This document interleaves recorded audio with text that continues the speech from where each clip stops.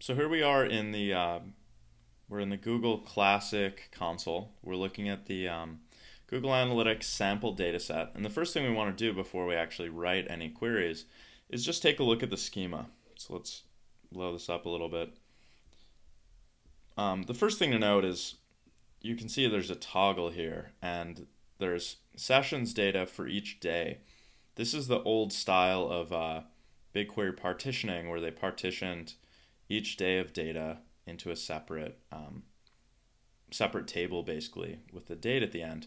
This is, uh, you know, I don't really use this style of partitioning very much, um, so I don't want to teach too much of how to deal with date partition tables like this um, with the the partitioning in the in the table name.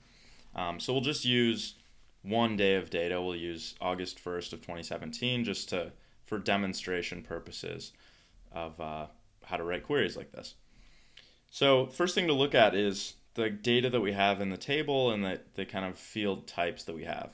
So we're going to want to do a lot of work with the kind of holy trinity of uh, marketing metrics, like basically hits or session or visits, really sessions, um, transactions, and transaction revenue. Those are kind of the three that we really care about.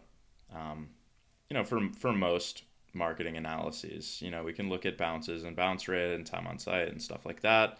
Um, but ultimately, you know, sessions, transactions, revenue are going to be the three that we care about most. Um, there's also some important um, kind of attribution data in here.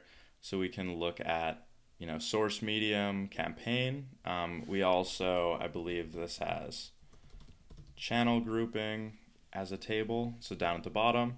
So we'll look at, you know, classic GA default channel groupings. Um, and then there's a lot of other, you can kind of browse through this menu. There's a lot of other fields in here. Um, you know, like AdSense and AdWords data, product level data. But the important thing to know is, you know, the type of data it is, whether it's a string, integer, whatever. Um, we'll cover what these records mean in a later lesson. You don't need to worry about that now. Um, but now that we've done that, let's actually write our first query and, and get into the um, query language that we're going to use here. So every query needs a select and a from. And after, in between, after select, you'll list the different columns that you want to pull from the table. Um, and we'll get into more details with that later. But one thing you can do for a column is if you want to rename it, so we say we want to take channel grouping and just call it channel, you just place as after um, and rename it to whatever you want to name it. So here we're just selecting tables as they're listed in, I mean columns as they're listed in the schema select one, two, three, four, five columns from, and then we list the table name that we want to query from. Now, BigQuery table names have three elements to them. They have the project name, so this is BigQuery public data. This will be the, high, the highest level, so this is the project ID. Um, then we have the data set, so that's Google Analytics sample is the data set. And then within each data set, if you, you know, open the, the arrow here, you can see there's a number of tables within each data set. So this Google Analytics sample just has one table. Again, it's GA sessions and then the date because it's partitioned by date. Um, so this just means there's 366 dates um, within the GA, GA sessions table. And we're just going to use this one, um, 2017 0801, August 1st. Um, so those are the, the two elements that you really need to have. Select and list some columns, comma separated. Um, you could have them on one line, but I prefer to split them out, each on one line for readability.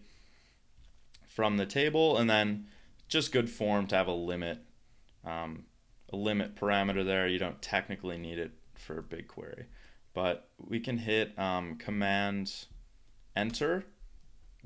Uh, we'll run that query, and you can see BigQuery will give you any errors here. It will tell you how long the query took and how much data was processed. Because remember, for BigQuery, you're billed by how much data you process. So that 77k, you know, I think, I think that's like the minimum, uh, the minimum amount that you could be, could be charged for, which is basically maybe like you know, a hundredth of a penny or something like that.